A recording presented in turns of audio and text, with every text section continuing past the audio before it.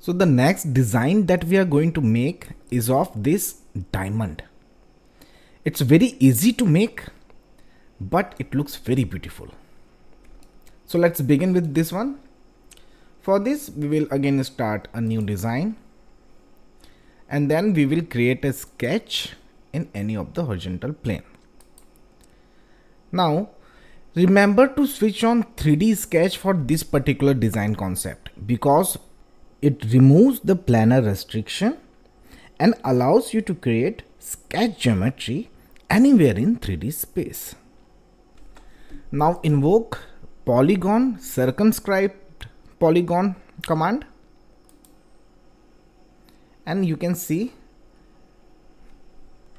these orientation commands these orientation tools are also available to you this is what 3d sketch is all about.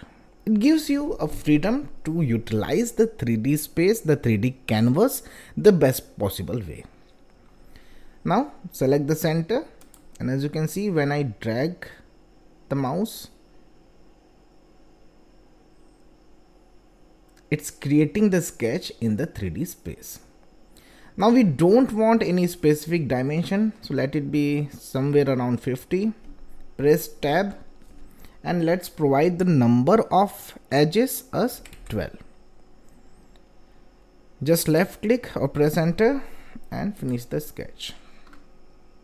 And now we will need some angular dimensions which is very much required because uh, lateral dimensions are not at all mandatory but angular dimensions are very much required. The reason for the same is certain angles of original diamond are bound to remain somewhat similar. But we can change the size of diamond. There is no issue with that. But we need to fix the angular dimensions. For this I have downloaded something. This I have downloaded from Google. So we are having like 40.75 uh, degrees over here and 34.5 degrees over here.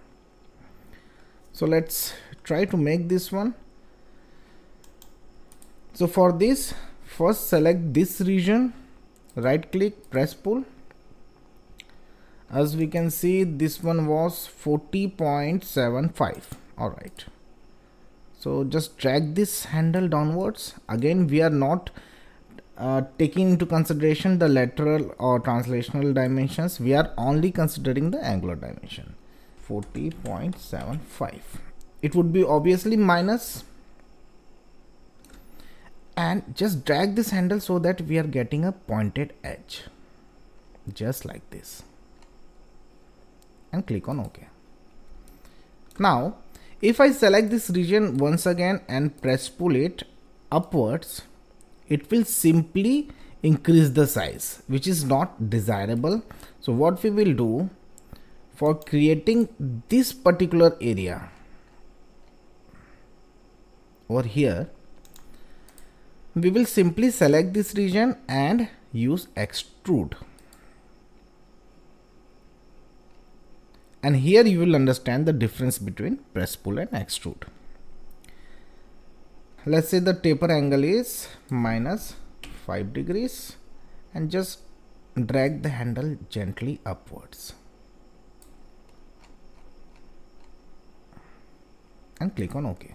Operation would be obviously join next we are having this uh, yeah 34.5 degree over here for this particular area. So for this we will again select this region. We will again invoke the extrude command or simply press E in the keyboard.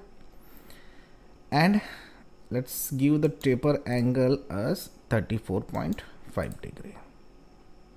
So this would be again minus minus 34.5 degrees. And just drag this handle upward and you will see the formation of diamond. I think this much would be sufficient or let it be 12 and we are almost done. Just click on ok. So the basic formation is being made. Now we need these intricate details and for the same reason we are using 3d sketch. This you will understand when we get into it. So for creating these details first we need to create a plane through three points. For this select this point this one and this one. Click on ok. Now on this newly created plane create a new sketch. And as you can see we are able to create in 3d space because we are having this 3d sketch option marked in the sketch palette. Now invoke the line command. Select this point select this point select this and just close the region. Finish the sketch. Now from here as you know you can show or hide the entities over here. This is your browser.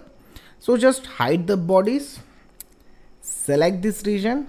Show the body. Right click press pull. Drag the handle and cut it.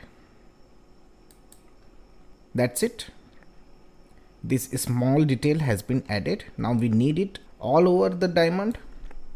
So for this simply go to pattern circular pattern for type let's select feature and select it from the timeline. Now for the axis obviously we can select this one the middle one.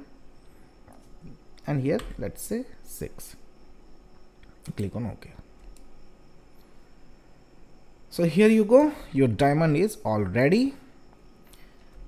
We just need to provide rendering to it. So for that simply go to workspace over here and go to render. Now here you can click A in the keyboard or simply press here.